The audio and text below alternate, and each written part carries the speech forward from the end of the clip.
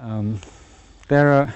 it, that's a difficult question and that there are so many different Buddhist groups and, and Buddhist schools and some people feel a real attraction to the,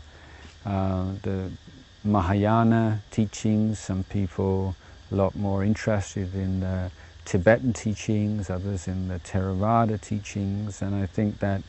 um, in the beginning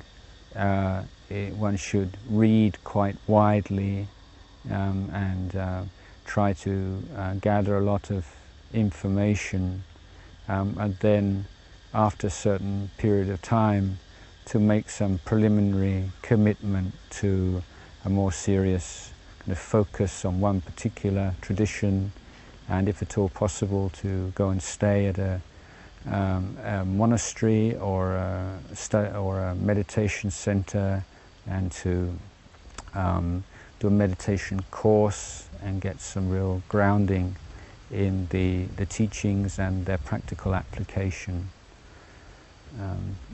meditation retreats are very, a very good way to,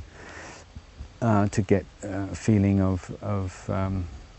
you know, really being embarked on, on a, on a, uh, on a practice and to be able to get good advice from a teacher and, and to get some